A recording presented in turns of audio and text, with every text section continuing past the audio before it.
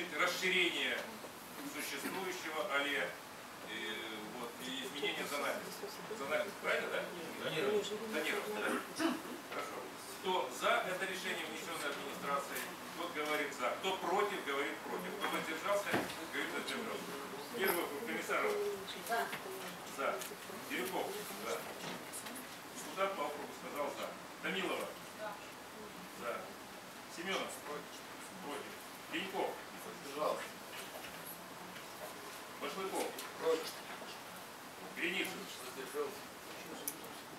Карпунин. Мамлеев. Берсенев нету. Галимов. Воронин. Несчастного нету. Федоров.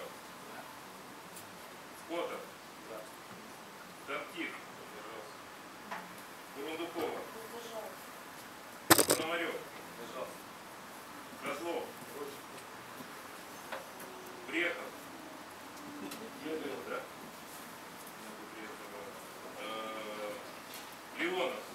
Нету. Нету Леонова.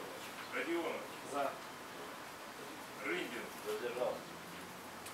Попов. За. Сокуль. Воздержался. Сидоров.